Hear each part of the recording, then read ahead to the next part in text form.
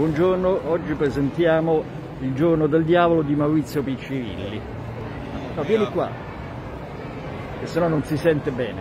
Siamo qui a Più Libri Più Liberi, Il giorno del diavolo, il mio, il mio lavoro sul naufragio della London Valor, una, una tragedia avvenuta nel, davanti al porto di Genova, talmente drammatica, talmente coinvolgente che praticamente tutta Genova ha assistito.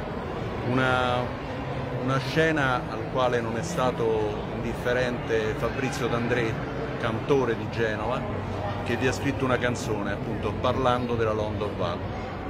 È una, un fatto drammatico che ha visto la morte di 28 marinai, ma soprattutto gli atti di coraggio dell'equipaggio di una motovedetta della Capitaneria di Porto e di una elicotterista dei Vigili del Fuoco che sfidando le onde alte 10 metri, 20 a 100 km all'ora, sono riusciti a recuperare più di 30 persone. Una, un momento drammatico che si è sviluppato nel giro di due ore proprio di fronte al lungomare di Genova, in quello che adesso è il porto nuovo della, della città. Grazie a Maurizio Piccirilli, Il giorno del diavolo, edizione Olaround. Grazie.